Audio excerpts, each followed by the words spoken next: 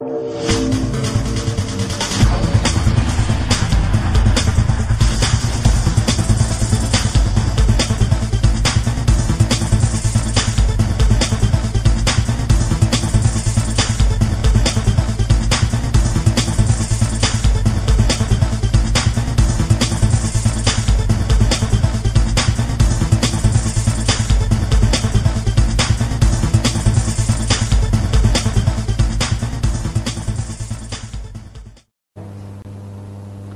Selamat sejahtera murid-murid. Apa kabar? Cikgu berharap murid-murid di dalam keadaan yang sihat. Di dalam kehidupan seharian kita, cermin ada di mana-mana. Kegunaan cermin adalah tidak terhad.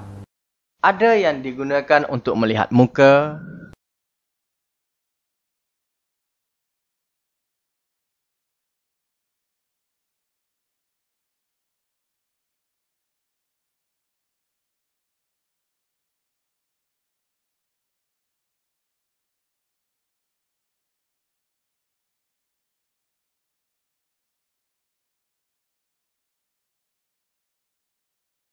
Ada yang digunakan untuk melihat kenderaan di belakang.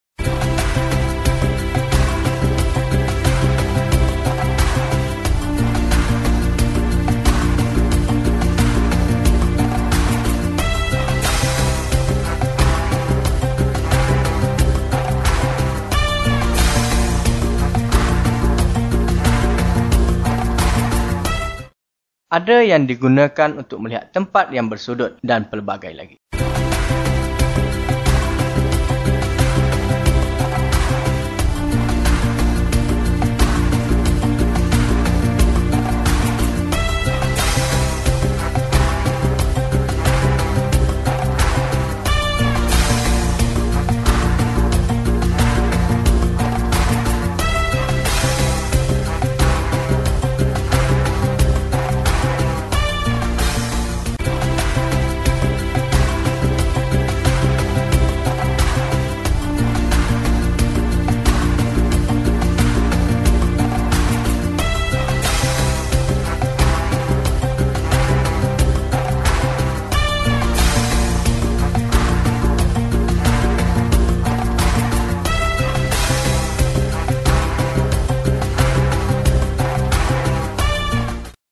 Semua ini berkaitan dengan pantulan cahaya.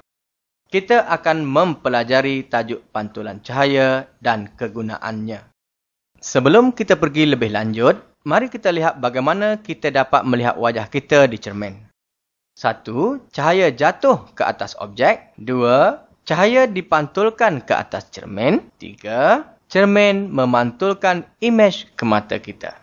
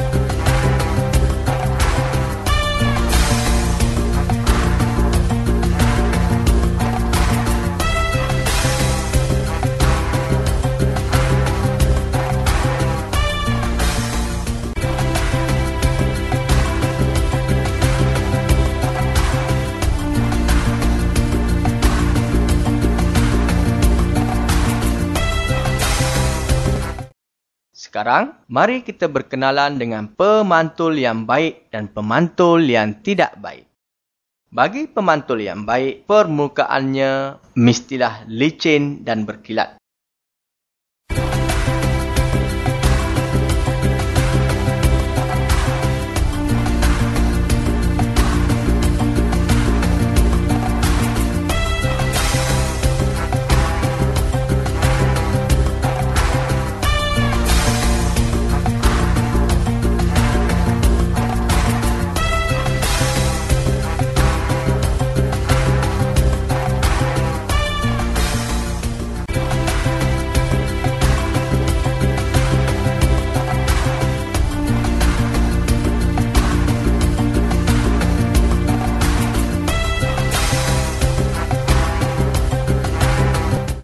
Sifat ini membolehkan cahaya dipantulkan dengan baik. Baik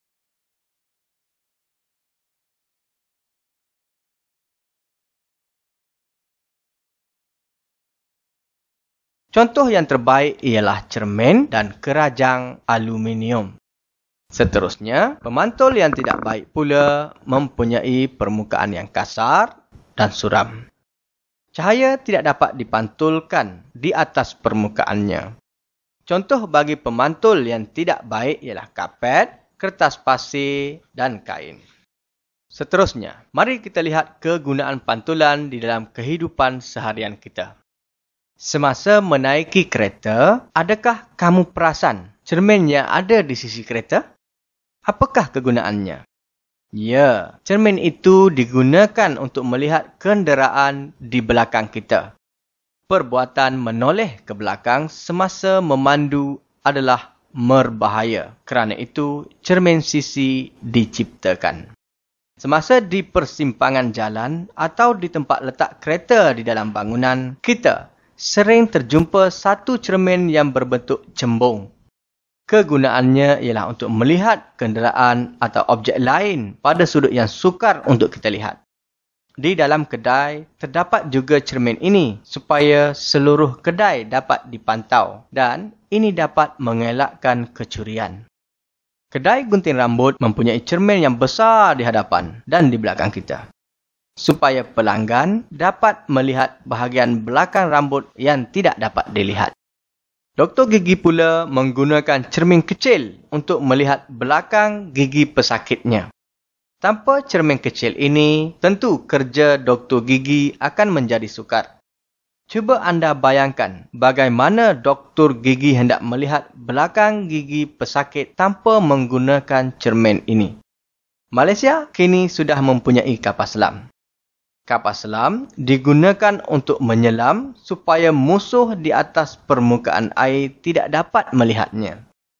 Untuk melihat apa yang ada di permukaan air, kapal selam tidak perlu timbul sebaliknya menggunakan periskop di mana prinsip pantulan cahaya digunakan.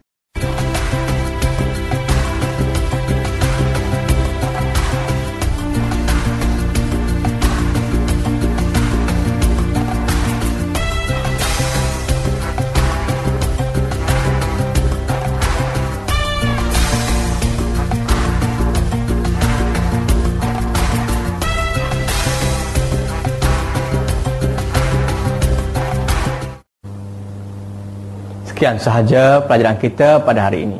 Selamat maju jaya.